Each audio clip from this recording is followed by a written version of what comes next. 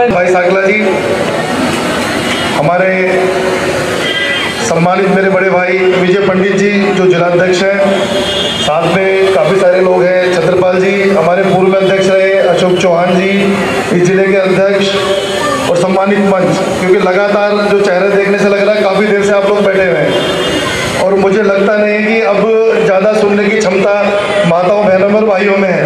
लेकिन सिर्फ़ एक बात का आग्रह आपसे करने का मन है कि देश में थ्री टायर सिस्टम है। सरकार का थ्री टायर सिस्टम है। और जब तीनों टायर एक साथ बराबर चलते हैं तो सरकार भी ठीक चलती है। तो पहले टायर पे आपने जिताया प्रधानमंत्री मोदी जी को। अभी उसके बाद आपने निगम में जिताया भारतीय जनता पार्टी को। अब फिर आपको मौका है इस देश के अंदर एक दुरुस्त सरकार चलाने का एक वोट और तीन सरकार आप एक वोट डालेंगे आपको तीन सरकार मिलेगी। साथियों, आयुष्मान योजना जो कि भारत सरकार ने दी, पूरे विश्व, पूरे संपूर्ण भारत में वो लागू हुई, लेकिन दिल्ली और पश्चिम बंगाल के लोगों का इतना दुर्भाग्य है कि यहाँ पर वो योजना लागू नहीं हो पाई। सिर्फ़ एक निजी महत्वाकांक्षा के कारण कि कहीं भारतीय जनता पार्टी या प्रधानमंत्री का नाम ना हो जाए, आज ईडब्ल्यूएस के नाम पर अस्पतालों में जो मैं खुद स्वयं जो मेरे संपर्क में लोग हैं, मेरे क्षेत्र में जो लोग हैं, मैं भी क्षेत्र, जय जय कॉलोनी से आता हूँ। वहाँ पर ऑपरेशन के लिए लोग लाइन में खड़े हैं चार चार महीने से नंबर नहीं आ रहा है। ये बड़े दुख की बात है।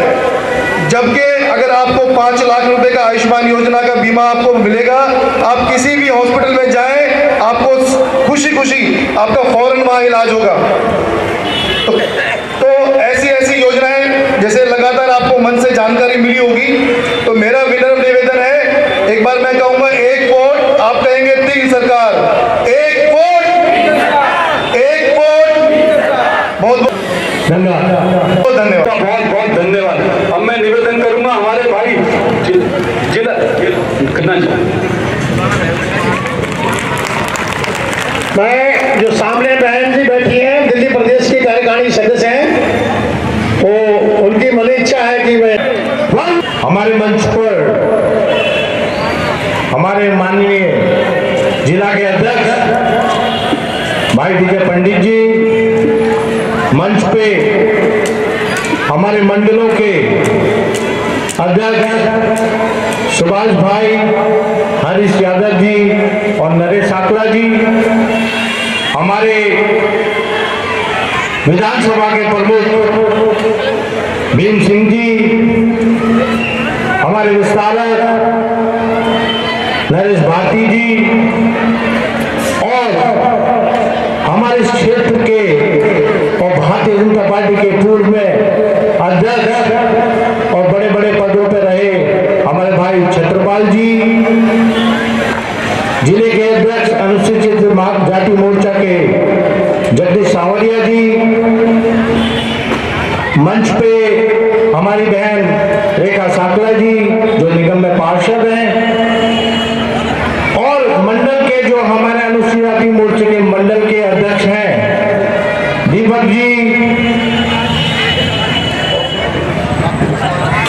राकेश बसवाला जी और अनिल कुमार जी। उनका भी मंच पर स्वागत है। और मेरे सभी विधानसभा के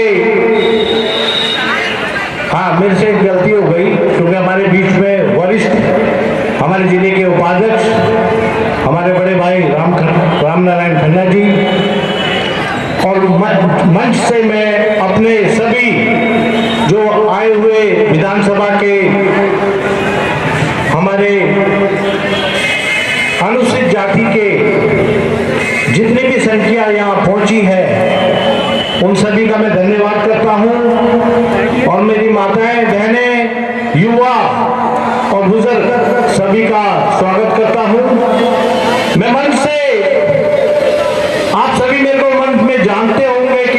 मैं आम आदमी पार्टी में था।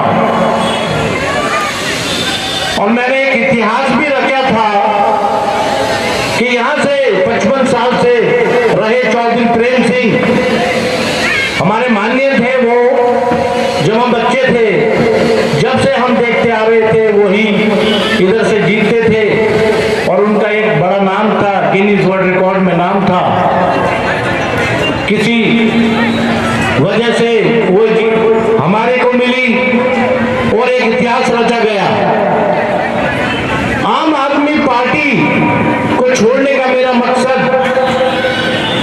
था कि वहाँ कुछ लोग उस पार्टी को घेर के बैठे हुए हैं। सर्वप्रथम हमारे सीएम साहब अरविंद केजरीवाल जी जिन्होंने हर समय मैंने उनको बड़े नज़दीक से देखा है वो क्या हैसियत है क्या वो हैसियत रखते हैं और कितने चलाक चतुर भी हैं उन्होंने दिल्ली की जनता को जो वादे किए क्या क्या वादे किए वादे किए। अब आप ही सोच लो और देख लो, वो वादे पूरे हुए हैं या नहीं। मैं बोलूँगा, हुए हैं या नहीं तो आप हाथ उठाकर बोलना कि हुए हैं या नहीं। बताइए नहीं। हाँ तो ये सब जनता जान चुकी है। ये सब झूठे वादे करने वालों को आपके सबक सिखाएगी। हमारी भारतीय जनता पार्टी को जिसको भी टिकट मिलेगा, चाहे कोई भी हो, वो भारतीय जनता पार्टी का चुना हुआ सदस्य होगा।